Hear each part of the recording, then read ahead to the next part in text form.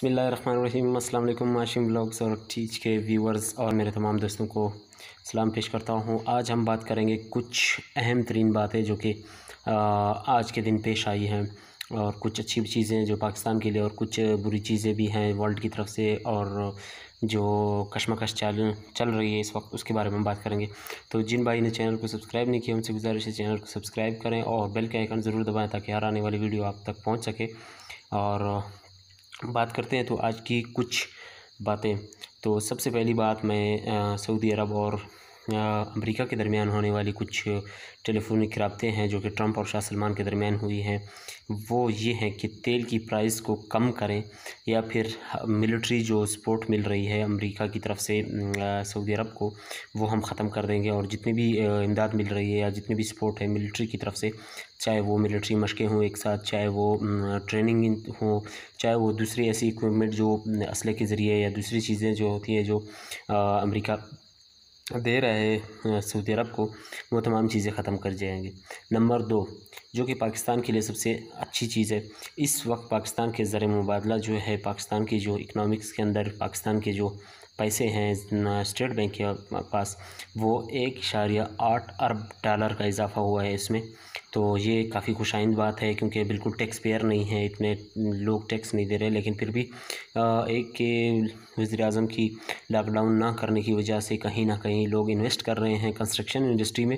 کیونکہ ایک سال تک کنسٹرکشن انڈسٹری میں کافی زیادہ جو ٹیکس وصول کیا جا رہا تھا، پہلے وہ ٹیکس ختم کر دیا گیا۔ ہے ایک سال تک کوئی ٹیکس نہیں دے گا اور کسی سے کوئی سوال جواب نہیں ہوئے گا، جس کی بنیاد پر لوگ کافی سارا کنسٹرکشن انڈسٹری میں انویسٹ کر رہے ہیں، جس سے آئی تھنک اس وقت پاکستان کی جو فورٹی سے ففٹی پرسنٹ تک یا سکسٹی پرسنٹ بھی سمجھ لیجیے کنسٹرکشن انڈسٹری سے لوگ جڑے ہوئے ہیں۔ چاہے وہ پینٹ والے سے لے کر، چاہے وہ لکڑی والے پلمبر سے لے کر، چاہے جس مطلب جو بھی ایسی کوئی بھی انڈسٹری کنسٹرکشن انڈسٹری کے ساتھ جڑی ہوئی ہے ان سب کو فائدہ ہے، چاہے وہ سیمنٹ ہو، چاہے جو بھی ہو۔ تو اور تھرڈ بات ہم کرتے ہیں، جو کہ ایک خوشائند بات ہے، وہ ہے دبئی کی نیشنل ہیلتھ انسٹیٹیوٹ کی طرف سے آئی، آج آنے والی خوشخبری۔ وہ یہ کہ انہوں نے ایک ویکسین تیار کر لی ہے اور اس ویکسین کو لگ بھگ وہاں پر ٹرائل بھی کر دیے گئے ہیں، ٹرائل بھی شروع ہو گیا، اور سکسٹی کے قریب تقریباً ریسرچ جو ہے ان لوگوں نے وہاں پر سکسٹیز ریسرچ کو جو ہے نا، ایک ساتھ ملا کے اس ویکسین کو تیاری کی ہے اور اس کے اوپر کافی پیسہ بھی خرچ کیا گیا ہے۔ لیکن آپ کو پتہ ہوئے گا کیونکہ دبئی کی اور یو اے ای کی جو گورنمنٹ ہے، وہ ہمیشہ ایسا نہ ایسا کوئی اقدام کرتی ہے کہ جس سے پوری دنیا حیران رہ جاتی ہے۔ کیونکہ ان کے پاس پیسہ ہے اور وہ پیسہ انویسٹ کرتے ہیں ایک چیز کے اوپر۔ تو وہ ریسرچ میں لگے ہوئے تھے۔ اور دوسری بات وہاں پر لاک ڈاؤن ختم کر دیا گیا ہے دبئی کے اندر سارے کاروبار کھولے گئے ہیں۔ اور اس کے بعد جو ہم بات کریں گے، وہ کچھ ایسی ہے کہ ہمارے آج پی ایم عمران خان صاحب نے جو بے روزگار لوگوں کے لیے، جو کہ لوگ بے روزگار ہوئے ہیں اس لاک ڈاؤن اس کرونا وائرس کی وجہ سے، ان کے لیے ایک نیا پورٹل ایشو کیا ہے، جو کہ آپ کو احساس پروگرام کے اوپر ملے گی۔ اور یہ کافی خوشائند بات ہے کہ وہ لوگ جو کہ دہاڑی دار تھے یا جو بھی تھے، ایسے لوگ جن کا کاروبار اس وائرس کی وجہ سے آئی مین، ڈیمیج ہوا ہے، اس کو تو نقصان ہوا ہے۔ اس کے لیے اچھا اقدام ہے کہ بارہ ہزار یا پندرہ ہزار جو بھی پیسے ہیں، اس کے لیے میں ایک نیکسٹ ویڈیو بناؤں گا اس میں آپ لوگوں کو پورا طریقہ کار بھی سمجھاؤں گا کہ کس طرح آپ اپلائی کر سکتے ہیں اس کے اوپر۔